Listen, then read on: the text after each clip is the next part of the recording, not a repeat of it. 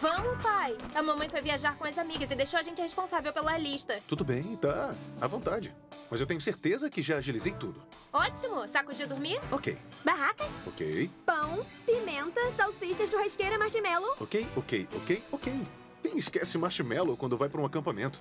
Eu já fazia isso antes de vocês nascerem. Podemos ir então? É, oi! Oi! Eu já ia bater na porta. Daisy, Ken! Ai, eu tava morrendo de saudade de vocês. Quanto tempo, né? Oi, família Roberts. Desculpem pelo atraso. Chegaram na hora. Mas se não estiverem na estrada em 90 segundos, a gente pode ficar horas no trânsito. Vocês querem que seja como da última vez? Não!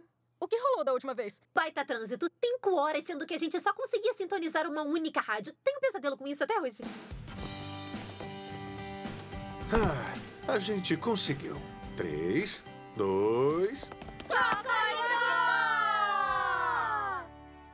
preocupa. Essa foi a última vez. Até agora foi a minha parte preferida do acampamento. Mas vocês podiam ter me avisado.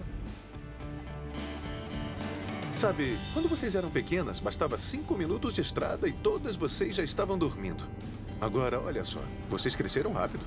E então, quem vai escolher a música da viagem? Legal! Posso ouvir a rádio que eu mais gosto.